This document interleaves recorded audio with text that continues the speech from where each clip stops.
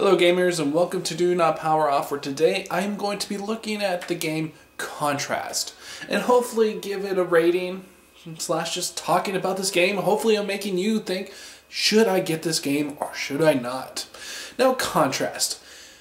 A lot of people may be wondering what the hell do I play when I have my PS4? I mean I bought this thing and right now there's no games coming out. It's been a month since the game system was released and we have nothing to show. Well, I was looking on through the um, the PSN network and I saw this game called Contrast and it was free. So if you have a PSN Plus account, definitely go and get download this game because it is free. Now, what makes this game so special? I gotta say, it's the world that you're in. You're in this steampunk game, and you are the imaginary friend of a girl named Didi. Now, Didi, she's in a broken household and she is just trying to keep everything together and to help her keep her mother happy, to keep her father from not getting killed from these gangsters. She has to have the help of her imaginary friend, which who is the person you play as, and you have to try to make this family that much better. Now, the thing that makes this game so strong, in my opinion, is Didi. She is just such a great character and you believe that she is trying her hardest to make this family dynamic work. And if she did not work, this whole game would not work. Now, I just saw this broken down home and I just thought to myself, wow, this is powerful. I I mean a lot of games sometimes will just rely on the gameplay alone, but this indie developer said, I'm going to take the time. I'm going to make a game where the main characters have a point to them. And the world around there has a point, and you want to uh, experience this, and you want to go through the whole entire game. I mean, just the world alone made me want to go through it. And seeing how this story ended was actually worth it. And it's nice to see this indie developer saying, hey, I know how to tell a story, and I'm going to tell it.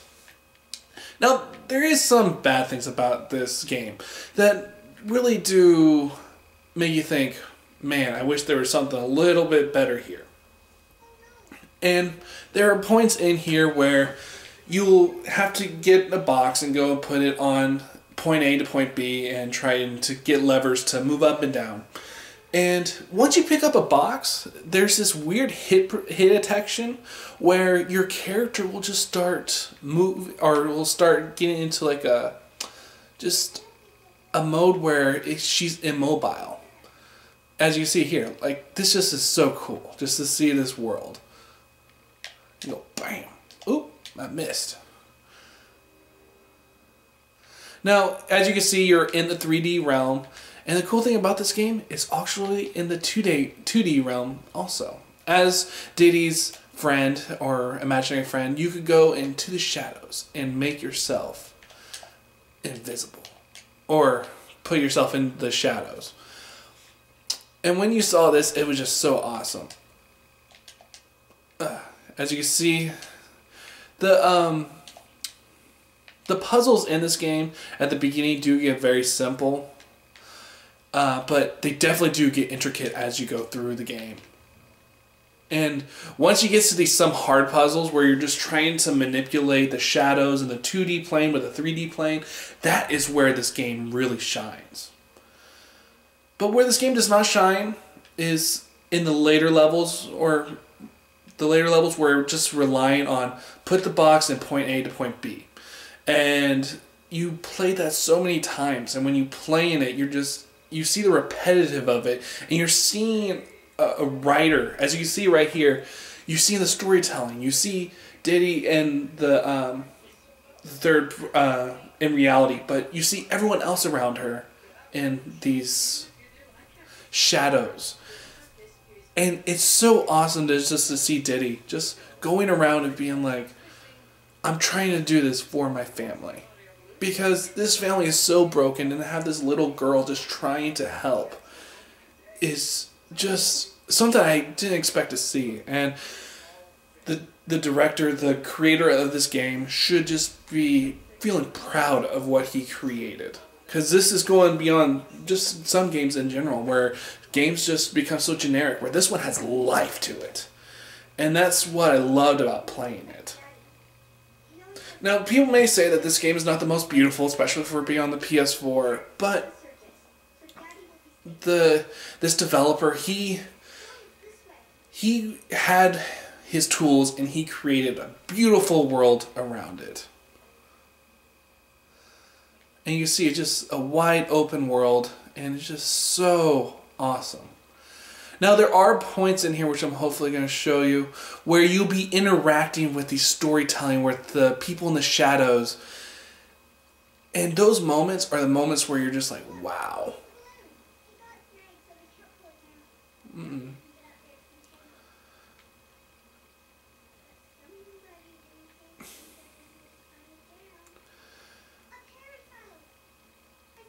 But I just absolutely love this game just for just how much of a childlike atmosphere it had.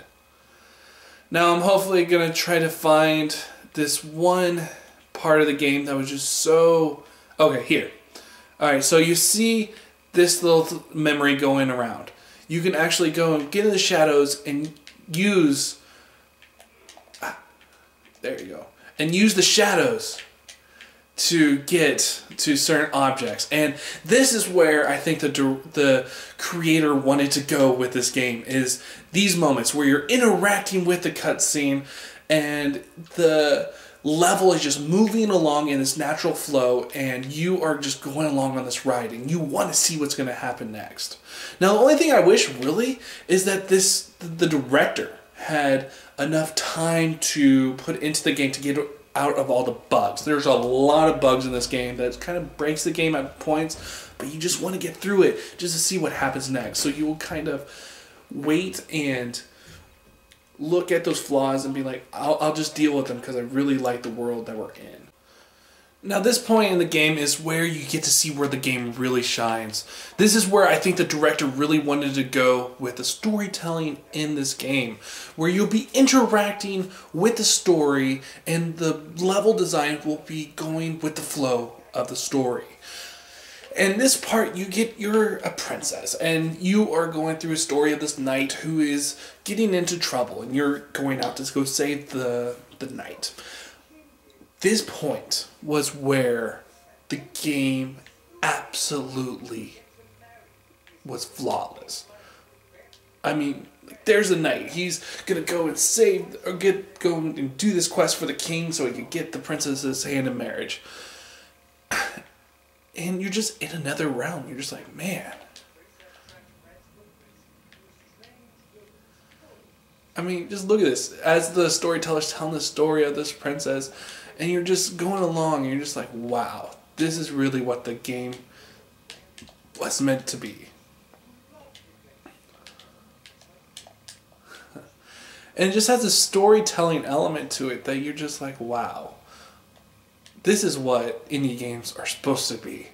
Some just something that you can't play anywhere else And I'm just so floored that this game was free on the PlayStation Network. Now, you can also get this game on PC and maybe Xbox. Now, look at that. The snappy crocodiles are going in. Boom, boom, boom. just so much fun. Oh, a trophy earned. Awesome. And there's just so much magic to this Had to get magic mushrooms, get higher, or get high.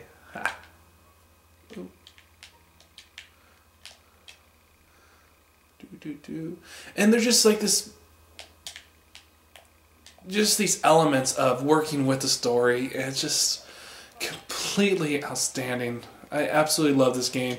And I do believe that everyone should go try it out, especially if you have a PlayStation Plus account and it is absolutely free. And what is a better price than that? I mean, you're going to have so much fun with this game. Go out, support this indie developer, and just know you're going to be in for a fun, fun time. So, in the end, I'm going to give Contrast a 3 out of 5. And I do believe this is a game that you should give a shit about because, man, it's just fun. It's just completely fun. And I can just play this game for hours and be like, I love the intricate um, level design in this game. there's the king, uh, there's the knight, and he's fallen, and you killed the orc. It's just completely awesome. So, 3 out of 5. This game you should definitely give a shit about. And go out and support our indie developers. And if you have a PlayStation Plus account, it is free. If you like these type of just talking about this any game, please subscribe to my channel. And I'm also going to be having some comic book stuff coming back. And I'm just enjoying myself doing, just talking about games. So, I'll see you guys next time.